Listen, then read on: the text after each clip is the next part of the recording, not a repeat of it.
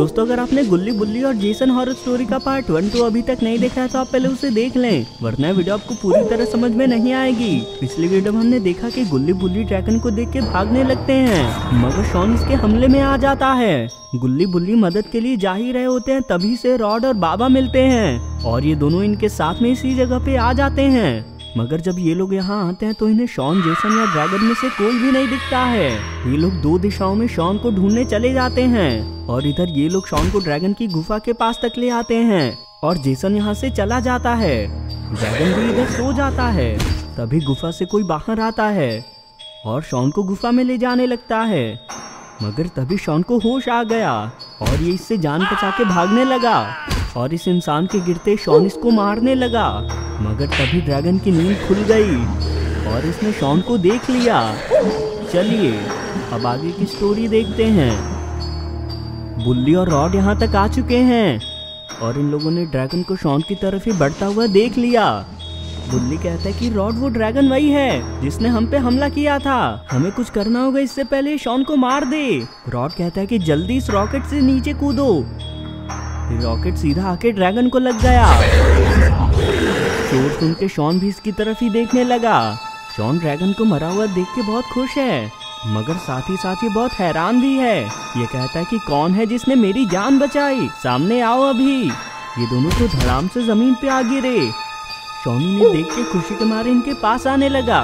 ये कहता है कि क्या हुआ तुम्हें? आखिर कहाँ से मार खा के आ रहे हो? मगर ये इंसान अब जग चुका है। और ये चाकू लेके इन्हें मारने आ रहा है। ये लोग बाल बाल बच गए। रॉड कहता है कि बहुत बढ़िया, बुल्ली। अब जल्दी हमें इधर से निकलना चाहिए। मगर यहाँ कोई है जो इन्हें देख रहा है। जेसन इन दोनों को मरा देख के इनसे बदला लेना चाहता है। इधर इन लोगों को समझ नहीं आ रहा कि ये पत्थरों के पार कैसे जाएँ। रॉड कहता है कि लगता है रॉकेट बर्बाद करके हमने गड़बड़ कर दी है। हमें इधर कोई रस्सी ढूंढनी पड़ेगी। अब जेसन छिपते हुए इनके पास ही आ रहा है। तीनों अब यहाँ से रस्सी ढूँढने के लिए जा रहे हैं। बुल्ली कहता है कि मैं गुफा में देखता हूँ।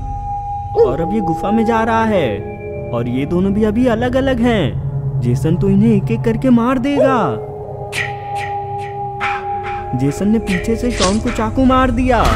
रॉड जेसन को देख के कहता है कि जेसन तुम यहाँ कब से छिपे हो? और भला तुम छिप के हमला क्यों कर रहे हो? दम है तो सामने सामने मुझसे मुकाबला करो। अब तो इन दोनों की लड़ाई होने वाली है। रॉड ने तो यहाँ बर्फ़ का मॉन्स्टर बुला लिया। भला इसने ये सब कब सीखा?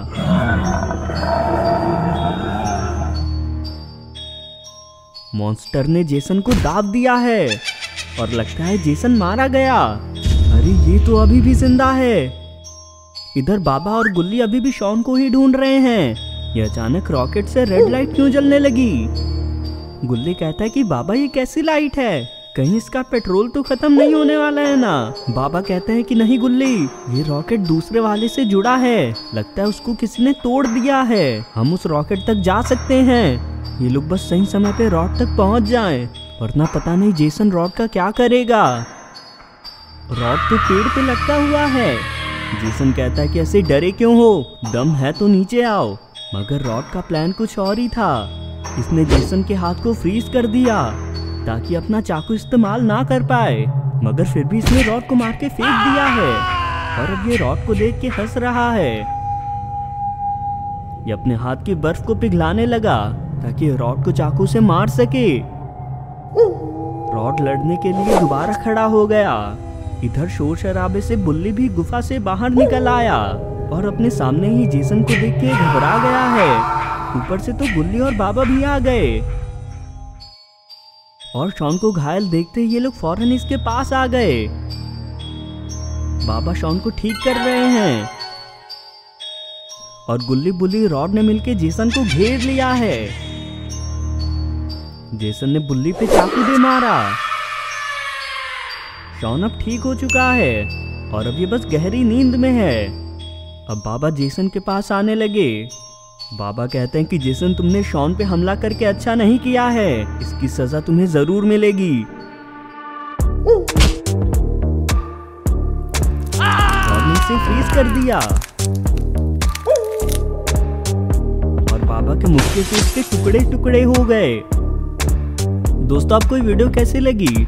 कमेंट करके ज़रूर बताएँ। और अगर आपको ये वीडियो पसंद आई तो वीडियो को लाइक करके चैनल को भी ज़रूर सब्सक्राइब कर लें।